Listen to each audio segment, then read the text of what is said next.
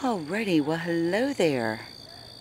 Here we are on Tuesday, September 28th, 2021 at 8.48 p.m. up here in northeastern Ohio. And tonight we're going to start off with a overexposed Saturn. But we'll change up real quick and tone it down a little bit. Okay, and there we go. So we're seeing Saturn on the uh, Canon R camera with the RF 800 lens and 2x extender. And we are at the 10x focusing zoom on the camera. Which you can't do when you're recording in the camera. So since I record externally, it works out. Let me get a clip here of uh, the equipment. I'll try to. It's so dark out here. Ah, camera. And I'm not sure if the wide field of view footage is going to come out because it's so dark out here.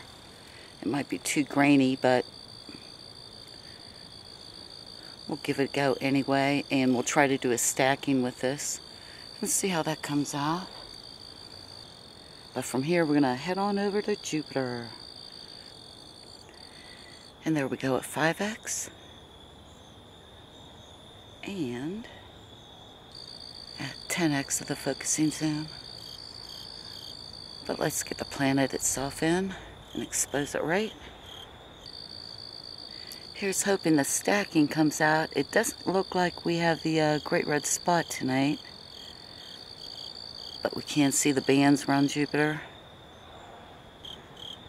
There must be some incredible storms up there. These two are such amazing planets to watch.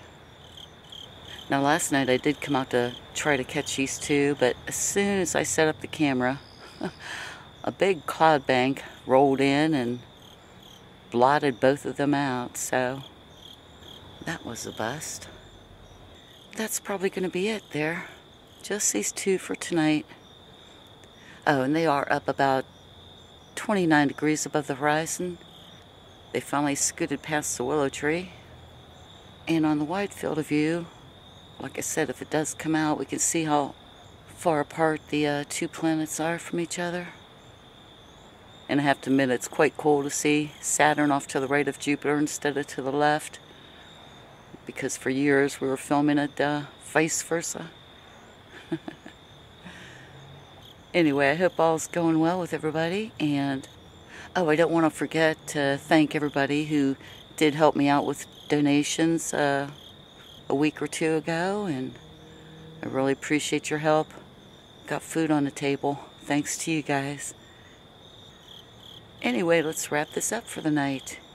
It's now 9 p.m. up here in northeastern Ohio. And these two southern planets are going to wave goodbye to you along with me. Y'all take care. Bye now. And our crickets say goodnight too.